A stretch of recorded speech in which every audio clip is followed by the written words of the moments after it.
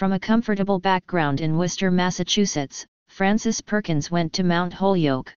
There lecturers introduced her to the cause of social reform. While teaching in Chicago, she spent her free time at Hull House and she began to move into the new field of social work. She witnessed the Triangle Shirtwaist Fire in 1911. That tragedy stiffened her resolve to fight for better conditions for working people, especially women.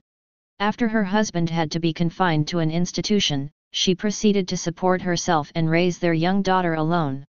She made conscious compromises to succeed as a career woman, adopting a grandmotherly style of dress she felt was less threatening to men.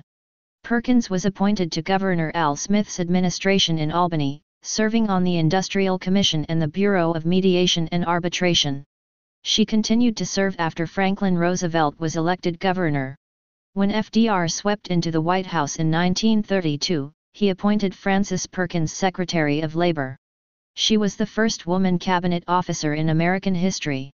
After serving throughout Roosevelt's four terms, she continued to lecture and write, and taught at the Cornell School of Industrial and Labor Relations.